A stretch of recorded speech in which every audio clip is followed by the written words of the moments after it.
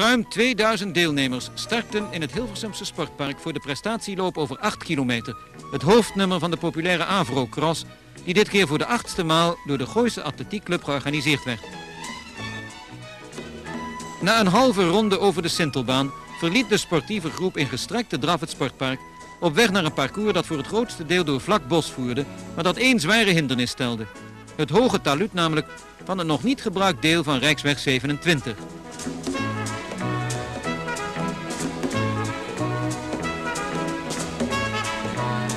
Na een stuk asfalt van ongeveer een kilometer was het opnieuw ploeteren geblazen op het door de regen spekglad geworden wegtalud.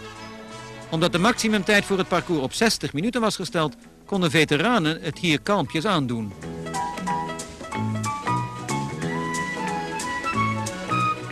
Via modderige bospaden keerden de lopers tenslotte terug in het sportpark waar de finish lag. Onder de 2000 deelnemers bleken geen uitvallers. De snelste legde het parcours in iets meer dan 25 minuten af. En van de minst geroutineerden bleven de meesten binnen de maximumtijd van een uur.